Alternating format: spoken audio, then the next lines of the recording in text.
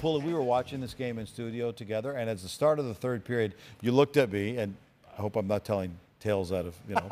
You're not supposed to Well, repeat everything. but I found it very interesting because you looked at it and went, all the stuff that Tampa's doing, they're going to win this game. They didn't. They lost the game three to one. I'm not pointing that out to say you're wrong, but I'm saying, what did you see that then failed for Tampa? Well, Tampa was on the right side of every puck. They were on top of every loose puck. They were creating every opportunity. But at some point, we got to stop saying we're surprised with this Columbus team. Could they have gone through any more emotion than they did in the last five days? Think of the overtime loss to Toronto after giving up that three goal lead in the last four minutes. What emotion that is. And then coming back and winning game five.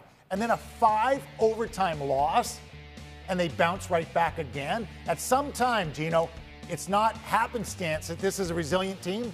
That's their identity. This is as resilient a group through a short stretch that we've seen in a long time.